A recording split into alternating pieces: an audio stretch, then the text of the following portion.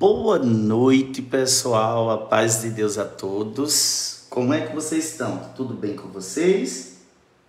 Espero que esteja tudo na paz de Deus, tá bom? Que esteja tudo bem. E vamos aqui, gente, para mais uma aulinha. Quem for chegando já vai compartilhando, tá bom? Curte, comenta, que isso é muito importante para que outras pessoas consigam ver, tá? Os meus vídeos tá bom? É uma aulinha simples, mas cheia com algumas técnicas, tá bom? Ó, já separei aqui pituá. Eu sempre uso esse pincel, gente. Esse é o pituá que eu uso porque ele ajuda a tá esfumando, tá certo? Já separo aqui o pituá. Separar também aqui pincel. Só vou usar um pincel número 12 um pincel só, gente. Eu vou usar número 12. Ó, uma livezinha aqui, ó. Tá vendo? Vou usar só esses dois pincéis. Já dá pra gente fazer, né? Porque o pessoal sempre pergunta, gente, só esclarecendo aqui, se vai tanta tinta, tanto pincéis, tanto material. Não precisa, gente. A gente começa com aquilo que tem, tá bom? O importante é que você comece, tá? Ó, a gente já vai aqui pegar um amarelo. Deixa eu pegar aqui o amarelo.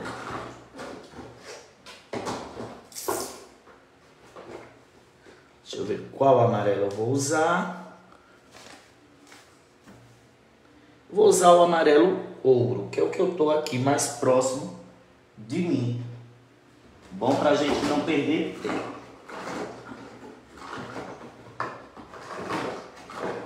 Eu vou usar o amarelo ouro. Se você tiver com, com o amarelo mais sorte, por exemplo, o gema, o cádmio, tá bom? Você pode usar ele. Pego ele aqui, ó. Deixa eu limpar aqui o pincel, tá, gente? Gente, compartilha aí nos grupos de pintura. Olha lá. Peguei aqui o pincel, tá? Perdão, vamos logo para a folhinha. Bom, vamos fazer aqui uma folhinha. Vou pegar a folha do caju, ela é diferente. Olha aí. Siena natural. Eu espalho aqui, ó. Preencho a folhinha, tá bom? A folha do caju, ela é meio envelhecida, ela é diferente das folhas normais. Dou aquela esfumada, por isso que eu uso muito peitoal, porque ele adianta bastante. E já vou pegar aqui o verde oliva, ou você pode ir até com sépia, se você quiser, tá certo? Ó, pincel número 12, eu venho contornar e já vou varrendo, limpando aqui para dentro verde oliva, tá bom? Eu usei o siena, agora o verde oliva.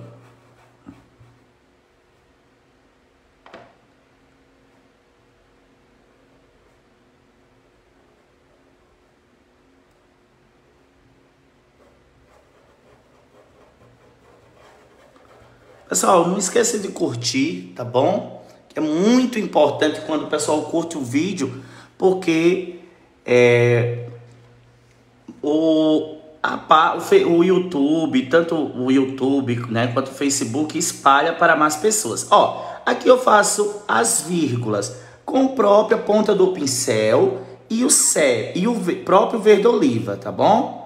Faço aqui né, a marcação delas, linha do meio e ali a marcação.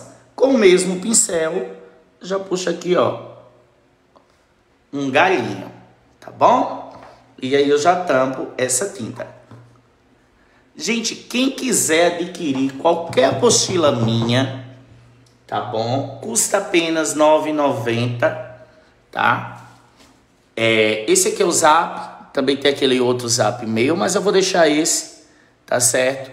Tem de rosas, tem uma de frutas, tem com guia de cores, tem apostila ensinando sombra, cor, tá? Tem muita belezura. Então aproveita aí você vai estar tá ajudando a página, né? Me ajudando também. E são lindas, né, gente? Tem a apostila, a última agora tá uma belezura agora de junho, que eu lancei agora semana passada. Ó, eu vou pegar uma isca do branco e você vai vir, ó, nessas vírgulas, ó. Marca, tá vendo? E aí eu venho esfumar, ó. Obrigado, Eliezer. Elisete. Perdão, ó. Tá vendo? Tô aplicando um pouquinho de luz e eu controlo o branco. Cuidado com o branco, gente, ó. Venho aqui, coloco só uma risquinha entre as vírgulas da folha. E aí eu venho, ó.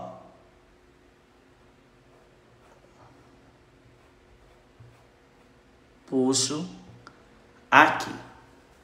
Gente, hoje eu vou também tá. Deixa eu botar aqui esse outro zap que eu vou estar, tá, é, quem quiser, o pessoal sempre chama aí, ó. Eu vou estar tá também nesse 82 9 81 60 48 48 90. Deixa eu chega Jesus. Deixa eu colocar aí rapidão para a gente continuar nossa aulinha abençoada. 94. Ó, qualquer um dos dois abre. Chamou em um, não conseguiu, chama no outro, liga, tá?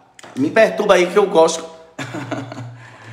tá bom, gente? Vocês vão amar as apostila. Olha, sem compromisso, tá bom? Pode chamar. Se você chamou alguma vez não foi respondido, gente, que às vezes a pessoa não vê, você chama novamente. Ó, esquinha do branco no galinho. Gostaram da folha? Viram como é fácil? Boa noite, gente, a todos aí que estão chegando. Noite abençoada. Já fiz aí a minha folhinha. Tá vendo que folhinha simples? E essa é a folha, gente. Se você olhar, você vai ver que a folha do caju é assim. E agora, como é que faz um caju? Né? É, vocês, é, o pessoal aí tá, graças a Deus, aprendendo bastante. Ainda vai aprender mais, em nome de Jesus. Agora você vai aprender caju de forma, aquele jeitinho descomplicado. Vamos lá, sem muita conversa. Ó, amarelo, você vai usar o amarelo gema ou amarelo cádmio, tá bom? Um amarelo forte que você tiver aí. Se não tiver, vai pro amarelo ouro mesmo. Tá bom? Preenche de qualquer jeito aí, ó. Só preencher. Simples, simples, simples, gente, ó. E agora, pessoal, mesmo sendo simples, você tem que aplicar as, as técnicas corretas. Uma que eu vou ensinar para vocês agora é volumetria. Como eu aplico volume na minha fruta. Por exemplo, a gente já está aqui com o, com o amarelo. E aí, onde é a parte mais gordinha do meu caju? Que é, ó, pega uma esquinha do branco, isca porque é pouco. Nessas, não são essas partes? E qual a parte mais profunda? Daqui a pouco a gente vai ver a sombra, né? Que é essas entradinhas dele aqui. Então eu pego aqui uma esquinha do branco, ó. E aplico aqui, circulando, porque eu quero volume. Olha aí, esquinha do branco. Se você quiser retocar para dar mais um pouquinho de volume, circular de forma circular. Olha aí, gente. É onde eu quero focar aí. Tá vendo que você já percebeu que já ficou com volume aí o nosso caju? Não já? Boa noite. Obrigado, gente. Deus abençoe a todos. Obrigado aí, pessoal. E aí eu vou pegar o quê? Vermelho tomate, vermelhinho tomate para dar vida ao nosso caju. Tinta na ponta do mesmo pincel, só estou usando aqui dois pincéis, o pituá número 4 e um pincel número 12 só, para não, né, não dificultar a vida dos que estão tá iniciando. Às vezes a gente inicia, quando eu iniciei mesmo, eu só tinha é, sete tintas. E aí Deus foi preparando tudo no tempo dele. Ó, venho aqui contornando, tá? Contorno Aqui também, tinta na ponta. Eu não deixo aquele excesso, gente. Perceba que não tem excesso aqui, tá? Você só coloca a quantidade que você vê que vai usando, ó. E aí você vem né? Mesclando aqui, ó. Unindo. Entenderam? Vamos colorindo ele. Olha lá. Venho agora de baixo para cima, gente. De baixo para cima. Passo e aí eu vou, ó, unindo. Mesmo tendo o branco por baixo, né, ó, venho com mais vermelho. Eu ignoro ele, porque eu quero ele apenas para jogar a tinta para cima, apenas dar volume.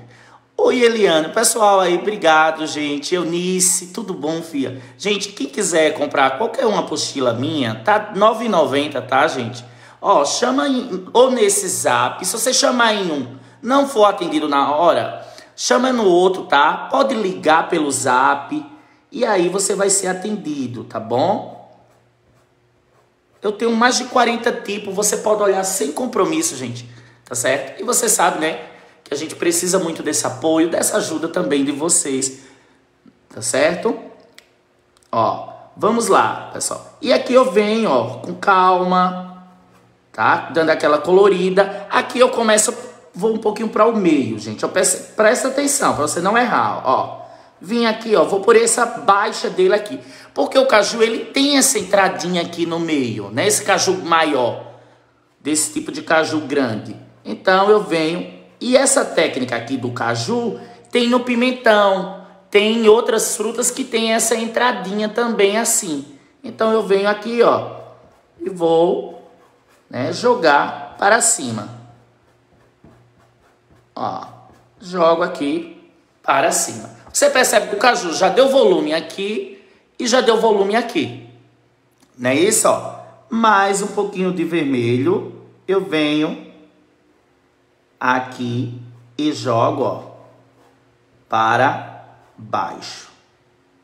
Pouquinho de vermelho, pouquinho aqui, circulo e jogo lá embaixo. Agora eu vou fazer o quê? Ó, jogando, vou jogando, né, daqui lá para baixo, ó, limpando aí a nossa pintura. Gente, olha que lindo já tá, não tá uma belezura? Obrigado, pessoal. Simples. Aí agora, gente, uma técnicazinha que eu vou ensinar. Professor, é, identifica mais, é, é, deixa mais profundo ali. Como é que eu faço? Qual a cor mais sorte que o vermelho, que é da mesma família do vermelho? A gente tem o quê? Que é o pai, considerado o pai do vermelho. Pode anotar isso. É o vinho, gente. Então, se eu quero aqui, ó, deixar alguma parte mais baixa, ó, que é a profundidade, é só eu dar uma entradinha aqui com vinho, ó. E aí você percebe que vai ficar mais profundo ainda. Então, se você está pintando um pimentão, algum elemento, ó, e quer deixar, vou dar um toque aqui, ó, só para podar, aqui não é, não é nem necessário, tá bom? Só para mostrar para vocês que quando eu quero baixar algum lado, alguma coisa, dar uma profundidade, eu venho com a sombra, ó. Vim aqui com um pouquinho da sombra e aí você vai é, limpar, unir, ó, aqui, ó. Você vem até apagar o quê? A marcação do seu pincel, ó. Eu venho aqui varrendo, limpando, tirando aquela sujeira que fica, ó. Perceberam que aqui deu aquela baixada, né? Então entenderam aí o efeito de profundidade da fruta? Qualquer fruta é esse mesmo processo, tá bom? Olha lá, mas ainda falta, calma aí, não saiam daí não, gente. Obrigado quem está compartilhando nos grupos, quem segue meu Instagram, que é Pintando com Alegria. Vamos lá. E aí eu vou pegar aqui, esquinha do branquinho, e vou retocar a luz, gente. Você sempre, é bom você voltar a limpar ela, tá? Ó, eu volto aqui, porque você passou muita tinta por cima. Então você volta com uma esquinha, ó, dá aquela limpada, né? No sentido do caju que é arredondado, tá, ó. E volta a deixar o ponto de brilho, pontinha de brilho, ó. Esquinha do branco. Uma esquinha de branco, ó. que é o ponto de brilho. O que é um ponto de brilho, professor? Gente, ó, olha para essa tinta aqui, ó. Tá vendo aqui esses pontos de brilho? Em tudo vai ter. Quando você pegar uma fruta real, você vai ver que ela tem uns pontinhos assim de branco, que é o que dá essa vida ao elemento. Então, o que é que o primeiro passo da pintura preencher e depois você vai fazer o degradê de cores, é, volumetria, sombra também, que é o que vai formando ela, né? Vai dando volume, vai dando vida. Para castanha, gente, é a coisa mais simples do mundo é pintar uma castanha. Deixa eu descomplicar aqui uma castanha para vocês. Eu pego aqui o meu branco, tampo vermelho, ó, terminou a pintura, já vai tampando. Amém, gente. Deus abençoe. ó, peguei o branquinho aqui, ó, e você só faz isso, ó. Esfrega ele aqui. O meu pincel tá até um pouquinho sujo do vermelho, não vai interferir, ó.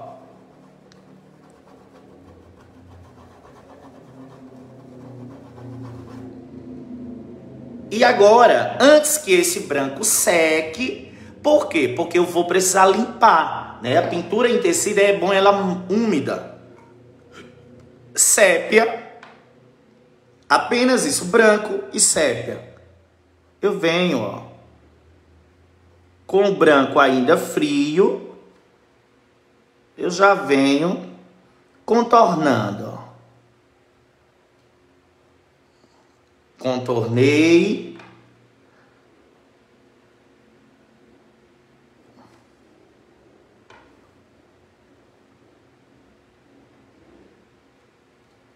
Contornei. De professor, que bagaceira, tá parecendo. É pintura infantil, né, gente? Ó. E aí você vai agora, ó. Fazer o que eu digo sempre, limpar, né? Olha lá, vamos aqui limpando.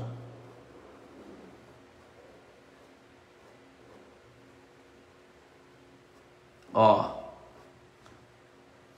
E você vê que aí já forma uma castanha. Para fazer aquele efeitozinho aqui da castanha, cabo do pincel, né? Cabo do pincel. Aperta aqui, ó. E puxa. E aí você já faz o efeito aí da sua castanha. Tá vendo, gente? Uma aulinha simples, mas que tem bastante técnica, né?